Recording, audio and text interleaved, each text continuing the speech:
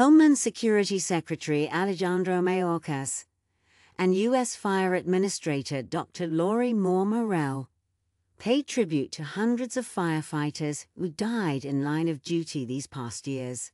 Mayorkas spoke of grants which could provide funding for firefighters' recruitment, equipment, training, and programs to save more lives of firefighters.